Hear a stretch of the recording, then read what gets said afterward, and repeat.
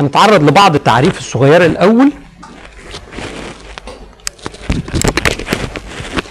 عرفنا إن ال upper cervical region مقصود بيها craniovertebral junction أو craniocervical junction اللي هو من أول ال occiput لحد C 2 آه ال subaxial بيقسموه إلى middle cervical و lower cervical middle cervical اللي هو 3 ل 5 وال lower cervical من C 6 إلى dorsal 1 تمام؟ ال functional spinal unit أو ال spinal unit motion segment هو عبارة عن ال two vertebrae بكل ال joints وال ligaments اللي junction ما بين الاثنين تمام؟ ده اللي اسمه functional unit of the spine column ال movement اللي بتحصل في ال functional spinal unit ثلاثة angular اللي هو around axis اللي هي زي ال flexion وال extension تمام؟ زي ال lateral bending وزي الايه ال vertical axial rotation تمام؟ أو translational movement translational movement بتتحرك ال body عن body تاني اللي هو sagittal translation أو coronal translation أو distraction و compression في principle مهمة في ال cervical وغير ال cervical spine اللي هو coupling principle إن هو معظم ال movement ما بتبقاش single movement يعني ال flexion بيبقى معاها في some rotation ده coupling effect مش العيان أو مش الشخص هو عايز يعمل flexion and rotation لا ال flexion ال standard flexion بيبقى على مستوى ال joint فيها some rotation موجود. ده اللي اسمه coupling effect اللي بيبقى موجود. ال center of rotation في ال flexion مثلا لما بنيجي نتكلم على أي حاجة ال center of rotation عادة فيها بيبقى fixed هو النقطة اللي حواليها بتتحرك. انما actual في ال في ال في ال spine actually ال center of rotation بيتحرك هو في حد ذاته.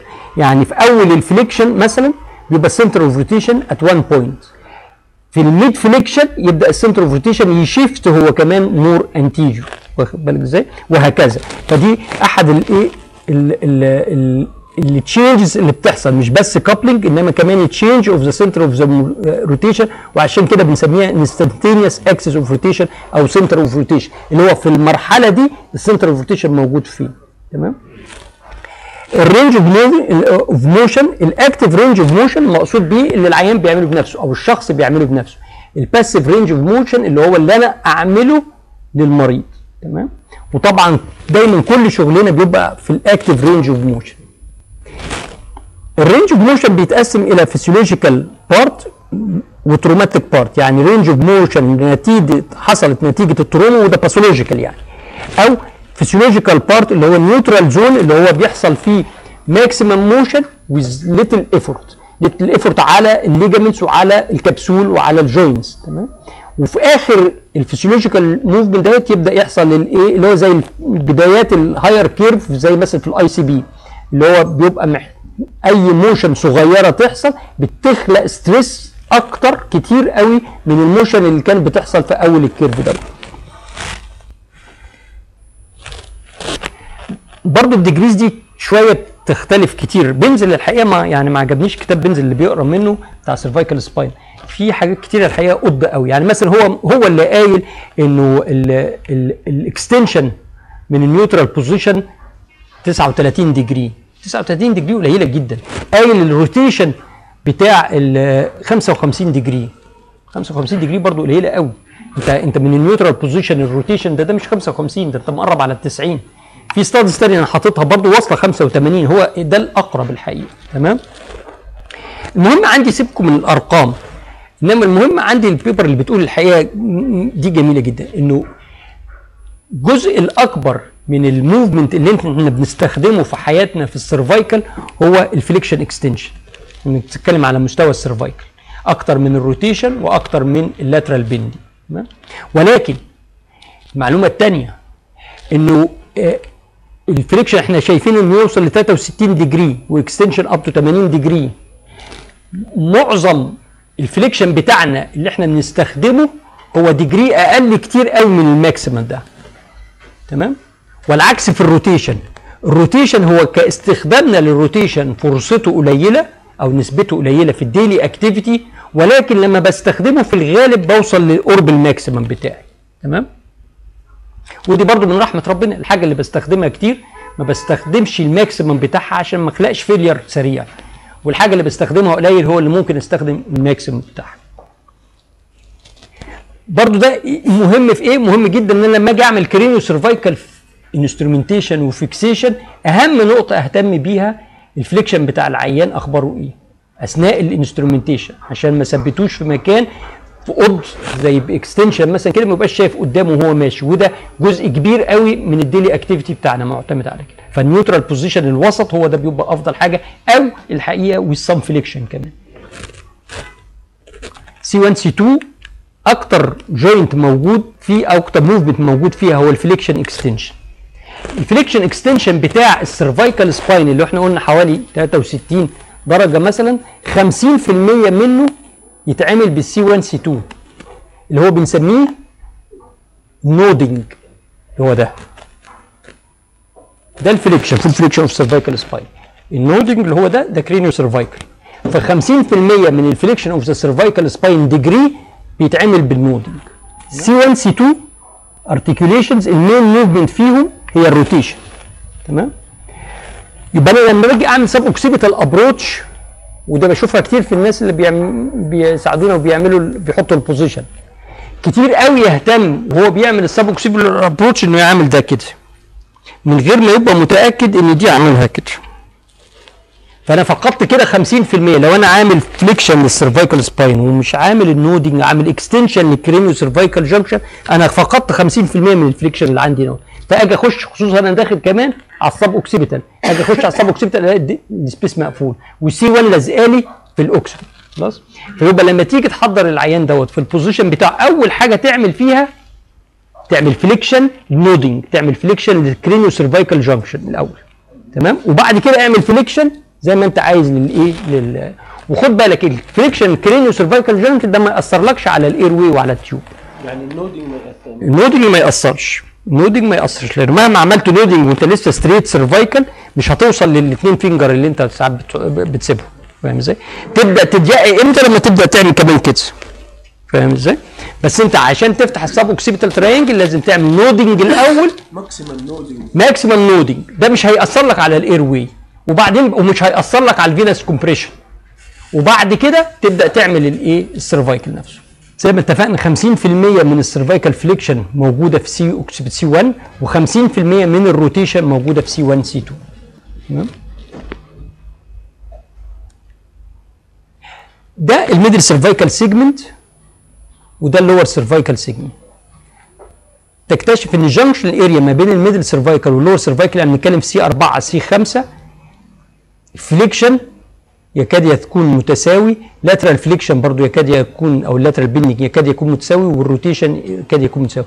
ال subaxial أكتر حاجة فيهم movement هي ما زالت ال flexion specially في ال junction ما بين ال middle وال lower اللي هو C 4 5 و5 6 اللي هي تقريبا ال two خصوصا 5 6 ال maximum ال highest incidence بتاعت ال cervical disc protraction و retraction بعض ال movement اللي يعني شوية موجودة specific لل لل cervical spine protraction و retraction ال protraction اللي هو ده عبارة عن إيه؟ عبارة عن flexion nodding و extension لباقي ال sub axial تمام؟ وعكسه لل protraction movement ثانية اللي هي ال circumduction ده combination ما بين ال lateral flexion ال flexion right lateral flexion ال flexion الناحيه الثانية يعني and extension نيجي بقى للكلام المهم. ده شوية definitions كان عشان يعني اللي بتمر عليكم تبقوا عارفينها. ال spinal instability by definition هي عبارة عن إيه؟ يعني إمتى أقول ال spine ده unstable Stability to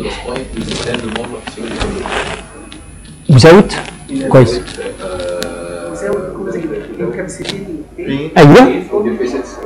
أو deformity أو deficit بالظبط كده. خلاص؟ عشان اهرب مثلا من بتوع الأكروبات اللي هو بيقدر يعمل يعني movement وبيقدر يعمل حاجات الشخص التاني ما بيعملهاش.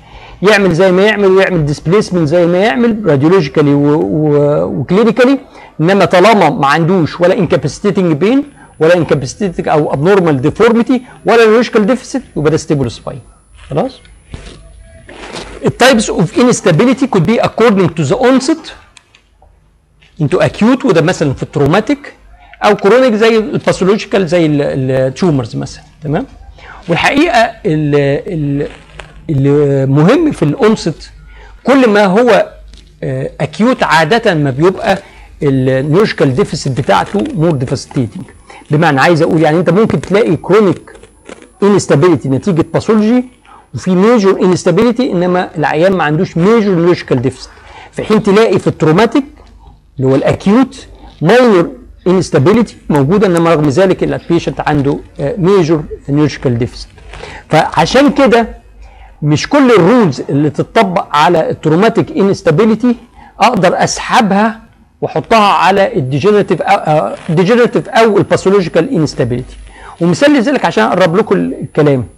vertebra plana حد يقدر يقول لي ال management اللي هي خصوصا لل due to طبعا بعد ما عملت لها diagnosis وطلع إنها single eosinophilic granuloma يعني لو عندي عيان عنده vertebra plana وتشخص إنه ال vertebra plana دي due to eosinophilic granuloma ال vertebra plana لما هتشوف فيه فيلم أشعة من الاشعات موجودة كده تلاقيها إيه compressed تمام. تمام؟ يعني تقريبا ال anterior وال posterior كلهم رايحين.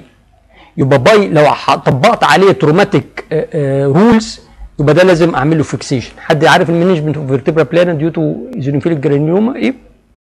هي بتفرق على حسب العيان في ال adolescent stage عداها ولا لأ؟ يعني adult ولا pediatric age كل ما بيبقى في ال pediatric age conservative management دوت rule لأنه بت expand بعد كده. مجرد ال collar وال management بتاعة ال eosinophilic granuloma ممكن يبقى كافي جدا وأثبتوا بعض ال studies إنها بترجع ت expand وبترجع تاني. ما بتحتاجش instrumentation و fixation ده بس مثال لأنه how much chronic instability اللي جاية very gradually مش بالضرورة أسحب عليها نفس ال rules بتاعة ال acute instability نتيجة ال traumatic.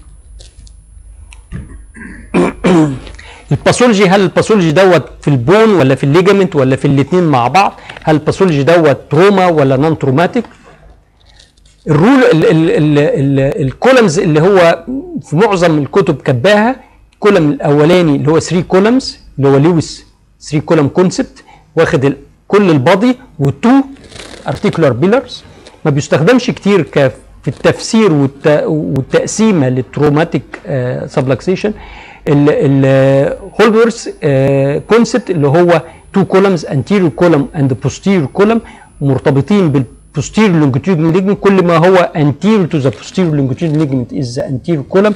كل ما هو posterior to the posterior longitudinal ligament is anterior uh, is posterior column.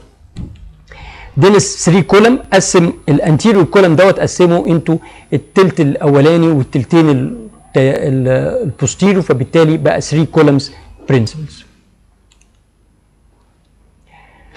ال forces اللي ممكن تبقى applied لل cervical spine عشان في ال trauma عشان تعمل abnormalities من الممكن إن هو يبقى axial loading اللي هو ال compression أو distraction عكسها. وال flexion movement دهيت عادة ما بتحمل compression in anterior column و distraction in posterior column يعني في بعض التقسيمات اللي كانت قديمه اللي بقت قديمة دلوقتي اللي هو عندك could be direct vertical compression أو flexion injury flexion ده قسموها into flexion compression لما يبقى ال main component of injury في ال flexion هو compression أو يسموها flexion distraction لما يبقى ال main component of the injury في ال flexion دوت ال distraction يعني ال flexion عمل distractive pathology هنا اهوت يبقى اسمه flexion distraction ال flexion عمل compression pathology في ال anterior part يبقى اسمه flexion compression تمام؟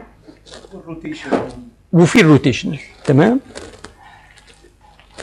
تاني دول ال factors اللي في أي force مش بس ال- magnitude بتاعت ال force إنما زي ما قلنا قبل كده ال rate of loading هو acute ولا chronic مثلا دي أحد ال factors اللي مهمة في ال trauma.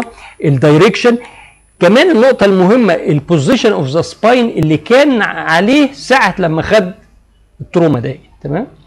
ال vertical مثلا compression زي العيان اللي هو بينط بي بي في ال في ال لو هو with some flexion هيصبح ال trauma بتاعته compression و flexion لو هو directly وال وال cervical spine بتاعه straightforward يبقى direct compression. دي هتؤدي إلى pathology ودي هتؤدي إلى pathology آخر.